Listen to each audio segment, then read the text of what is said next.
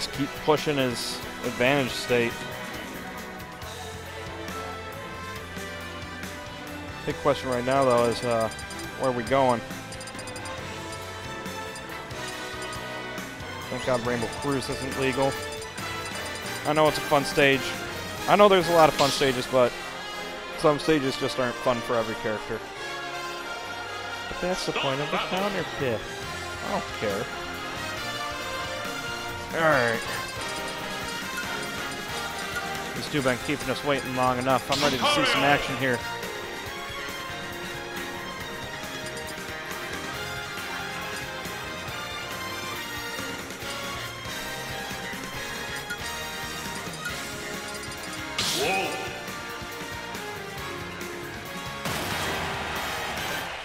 There we go, kicking it off. Game one on Battlefield here. Wolf versus Lucario. Daybreak versus Johnnstr, and here we go. Right away, Johnnstr just finding that advantage and finding the opening, but Daybreak answering right back, getting a good combo. Quick 48% here. Johnnstr being very patient at the ledge, not wanting to give Daybreak any openings here. Fighting his way back to neutral. Daybreak finding the advantage first, though. Trying to catch that landing, but slightly off on the timing. Down smash. Gonna catch that up B. Holy cow. Bridge is a lot deeper than I was expecting it to. And Daybreak immediately just keeping up the pressure, juggling Johnnstr, forcing him all the way to the ledge here right off the bat. There is no chill in this man right now.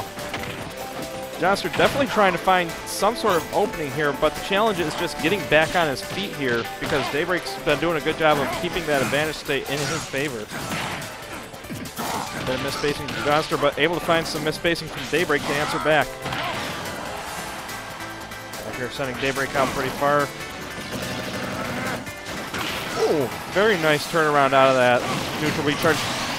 Holy cow, that actually hit. God, that thing gets huge.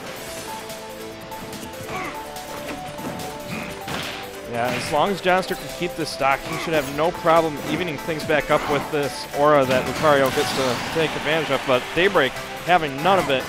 Coming in with the back air, catching Johnnstr, looking to get back to the stage too quick.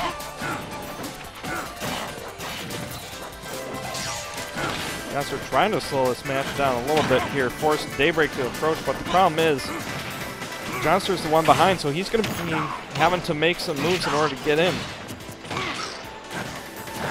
Go. Johnnstr doing a good job of keeping Daybreak up on that platform, but Daybreak finding an opening, getting down, only to get chucked right back off. Daybreak is just moving around, really keeping himself a difficult target for Johnnstr to pin down here. And mixing in those lasers definitely makes it a lot harder to pin him down. Nice Aura Sphere there, covering the platform, catching the landing. That reflector starting to come into play. That almost worked. Back air sending Johnnstr really far out. No fear trying to go down there after him. Nice counter there just to prevent the damage and shield damage as well. Holy cow, that force palm gets huge. But uh, that forward smash, also pretty big. So Daybreak doing a good job keeping up the pressure, taking out those stocks pretty efficiently, and taking game one there.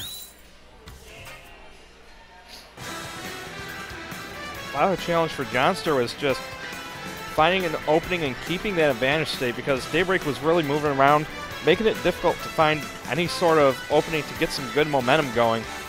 And every time he did get an opening, Daybreak was able to counterattack pretty efficiently against him. So it's going to be up to Johnnstr to be able to control the pace of this game, I feel, because once Daybreak got rolling, that was definitely a lot of trouble for Johnnstr.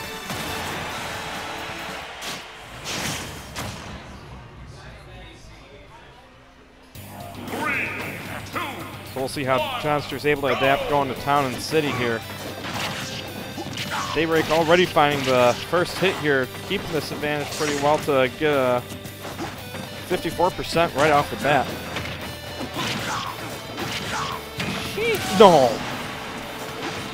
This man's combos are ridiculous right now. I mean, to be able to just combo him that well, do that much damage, phenomenal. So Johnnstr unfortunately put in a rough spot here. And he's just having a lot of trouble finding his way in against these fairs and nairs that Daybreak's using to space him out. I mean, honestly, Lucario doesn't have many far-reaching aerials. On top of that, the angle that Daybreak's approaching from, his aerials don't really cover those spots too well, so Daybreak definitely doing a good job finding the openings in Johnnstr's defense.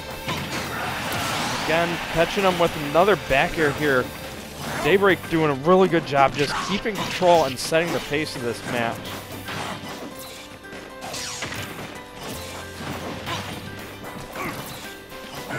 Now Daybreak recognizing that Johnnstr's going to have to approach. He's just sitting back, letting Johnnstr try and do things.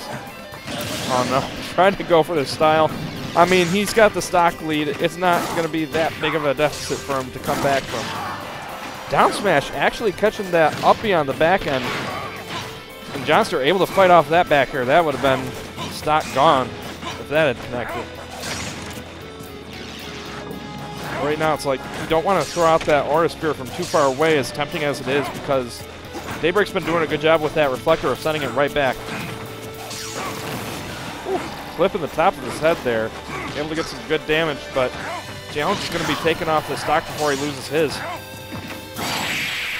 catching him with another down smash. Man, that covers Lucario's up B recovery so well just because it's disjointed below the ledge. I mean, Daybreak was just being really efficient, carrying those combos to their full